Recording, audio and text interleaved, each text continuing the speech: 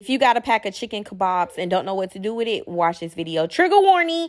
Yes, I do clean them off. I did get these pre-made at the grocery store. I picked them up from Harris Teeter. So they were already um, layered with chicken, um, onions, bell peppers. They use orange and green bell peppers, but no seasoning. So I, you know I had to go ahead and season it. I just used some garlic powder, onion powder, a little bit of Lawry's, and that's it. Yeah, and then I mixed it up and made sure each chicken piece was coated, okay? Because again, these are going on the grill and they didn't have any seasoning. So look at that. That's all you got to do, really. You can also make these at home. So I'm going to make a, a detailed video on how to make them at home.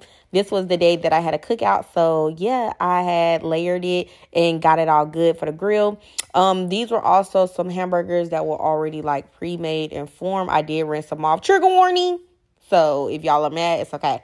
Um, I just used the basics, some hamburger seasoning, some smoked like hamburger seasoning, and then I went in with a little bit of Montreal steak seasoning to give it that little kick, and some Worcestershire sauce because these are going on a grill. I wanted to make sure that they were fully like um seasoned and coated because I like my burgers a little charred. So yeah, I wanted to make sure the seasoning on it would stay on it. So that's just how I went ahead and seasoned my burgers.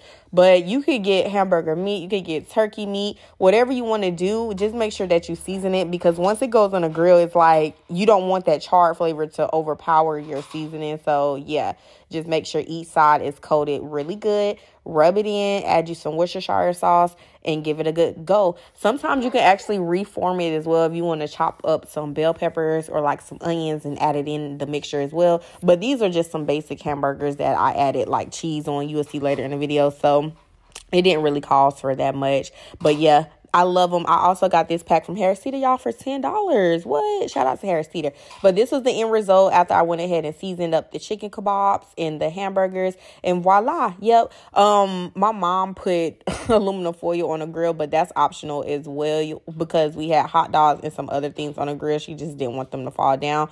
Um, But if you like the charred like grill lines on it, don't use aluminum foil. And then I just added some cheese and then some beef hot dogs and then voila. That was literally it. It was super quick and easy. I added um, some spinach on mine. Some had lettuce, ketchup, mustard, pickles, and voila. You can add you a fried egg, some avocado, whatever you want for the cookout. But try this recipe. Bye, y'all.